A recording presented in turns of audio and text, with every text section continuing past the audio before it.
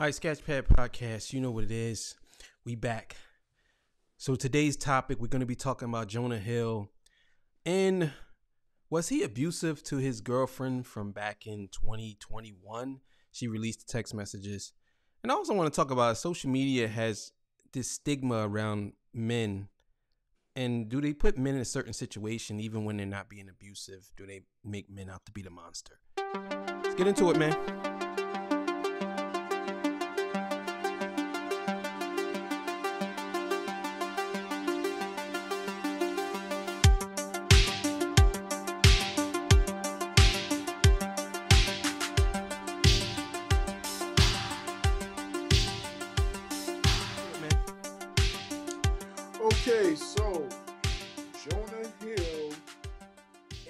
His girlfriend Sarah Brady, girlfriend's accusing him of abuse. So now she decides to take to social media and uh, post these texts from way back when. So uh, I'm going to read one of these texts from Jonah Hill, and you guys can comment below on what your thoughts were. You know what I mean? And make sure you tag Sketchpad Podcast. Anywho, it says plain and simple.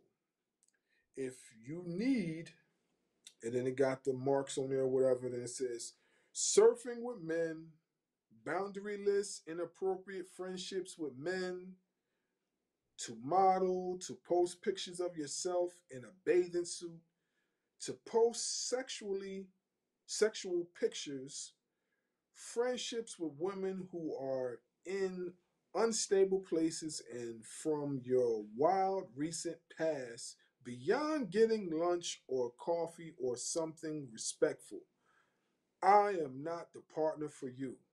If these things bring you to a place of happiness, I support it, and there will be no hard feelings. There are my boundaries for romantic partners, my boundaries with you based on the ways these actions have hurt our trust. Then it says at the bo- at the bottom, see the misuse of term boundaries. Yo, I got so much to say about this. This is wild. Look, all right, man. First of all, you see how when it comes to men, we always have to walk on eggshells with everything. You know what I'm saying? So now men can't have boundaries. We can't. We can't have desires. We can't have wants. Women can do whatever they want. We can't tell a woman what our standards are because as a man, we don't supposed to have standards. We don't supposed to uh, uh, say things like we don't like we don't like heavy set women or fat women. We don't supposed to say that because if we say it, it's fat shaming. You know what I'm saying? We don't supposed to say that we don't like short girls. We don't supposed to say we don't like like girls, dumb girls. We don't supposed to say that. Now, this man, he put it in plain day, plain day, and said to her, You could do whatever you want, but this is my standard, and this is what I'm asking you for. But if you don't do it, more power to you, and I'll support you. If you're happy, then you go do it over there. But you're not going to do that here. Mhm. And the internet is in a frenzy. She posted stuff and she and her her caption was she put out that this is how an abusive relationship uh, turns out. Ladies, run far away from men like this. So let me get this right. Your man is checking you and telling you he don't want you to be posing putting out provocative pictures and nasty things and hanging with women that's unstable and they they not trustworthy and you're telling me that you're telling women to run away from a man like that when he's telling you to respect yourself as a woman this this this can't be real this can't be real It's real, all right. It's real. It's the world we living in. It's This can't be real. so It's so the world we living in. It's just what I'm saying. So so so she's out here thinking that she's being heroic by putting these messages out. Now, I'm gonna tell you why I believe she put it out. He is with another girl. They don't date anymore. He moved on. This was from 2021. We are in 2023. He has a baby and another girl right now. I think that she's jealous that he's with someone else and he moved on. And she can't stand the fact that he basically left her for the shit that she, excuse me, for the things that she did. Mm-hmm. She got caught up in her own in her own web and now she want people to feel empathy for her because she was the one that messed up. So what she do? She try to embarrass him by putting it on him saying, "Well, this is the reason why we broke up." But it's been 2 years. 2 years. You release the information now because what? You want everybody to feel sorry for you because you know deep down in your head and deep down in your heart, you know he was right.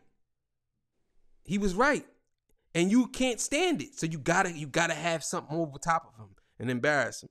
It's crazy, man. It's crazy. The thing is, right? We have these entitled women that uh that basically don't want to be checked or don't want to be correct or don't want to be told nothing. So let me get this right. You got a decent guy who's telling you to respect yourself and you don't want to respect yourself. You know what I'm saying? And and this kind of like plays into my point and your point when we spoke about the Kiki situation. You know what I mean? And he didn't at the point in time where he knew he was going to feel some type of way with the way she was dressed so instead of her pulling her to the side and let him know, let her know that yo, you know what I mean? You got you got you got dial it back a little bit. He decides to check everything in public, and then you see how it got magnified into something crazy. It's the same thing with this. She posts these texts, and it got magnified into something crazy. This is not abuse. Those texts that I read were not abuse. That's him setting his standards and telling you what he wants out of the woman that he dates. And you decide that's not what you want because maybe you feel that Jonah Hill's a boring guy and yada, yada, yada. He doesn't want to have any fun. Nah, I'm pretty sure he has plenty of fun, Ma. But that's not what he wants his woman to do.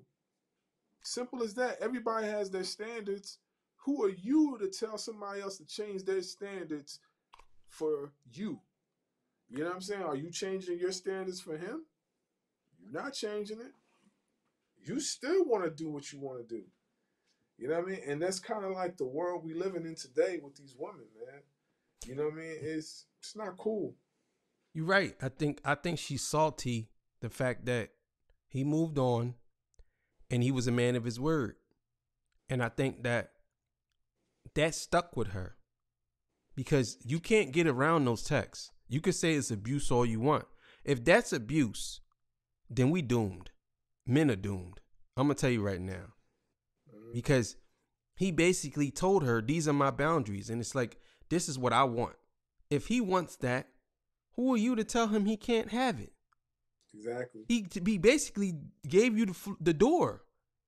He said, "Listen, I'll still support you if that's what you want to do. I, but you can't do it with me. I'm not gonna have my girlfriend out here posting provocative things. For what? And this is my this is my gripe with women when it comes to social media. I had a show about this with a panel of people, and I asked with the girls. I said, I said, would y'all de- delete if your man told you he wanted you to delete your social media? Would you delete it? And the first thing they said was, well, he has to delete his too. And it's like that wasn't the question. The question was if your man asked you to delete your social media, would you do it? Well, why can't he delete his? That wasn't the question. And I think that this is the thing with women. It has to be a tit for tat every time. It can't just be your man says something and you and listen. That's it. Especially if he's a good man. If he's a good man, then you should have no problem with listening to your man. Because guess what? And I'm gonna keep saying this. If a burglar run in the house, who you expect to go and tackle the burglar? The man. Mm-hmm. If a dude jump out of the, the, the woods with a gun, who you expect to jump in front of that gun? The man. If a dude snatches your purse, who you expect to run after him? The man. Yeah. If a dude put your put his hands on you, who you expect to, do, to defend you? The man. Uh, this this is what I mean. So when when people like her get online and they spew this garbage, it's just basically to get all these people to side with her on it instead of people just coming out and saying, you know what? Nah, you wrong on this. There's no way in the world you're gonna tell me that this man was abusing you. hmm See, people need to be checked like that. Because if you don't, if people don't check people like that, what happens is you get people who who believe that that's abuse. So now you're gonna have women saying, if a man tells her, "Don't be posting pictures," don't be abusing me. What are you talking about? I could post whatever I want. And that's and that's the thing. You're gonna get that as abuse now, because women nowadays they look for every reason for them not all of them but a good percentage of them look for every reason for them to be promiscuous it's period every reason for them to be promiscuous It's a That's bottom shame. line, man. It's it's it's a shame. It's a shame. It's a shame because, like, it seems like you know, the male species itself, as far as being the alphas, are being extinct totally. Like, dudes are getting wiped out, man. Well, And uh, it, it's it's things like this that's making it happen and people and people feed right into it instead of instead of just looking at looking at it as oh jonah hill's a decent guy oh nah he's a scumbag look what he's saying but there's nothing in there that states that he's saying something wrong. He's just setting his standards for himself and whoever wants to be with him. But well you know what's wrong to them? What's wrong to them is that's first of all that's traditional. People don't like traditional things anymore. And secondly he that's that's an authoritative position he's taken and people can't stand that especially feminists.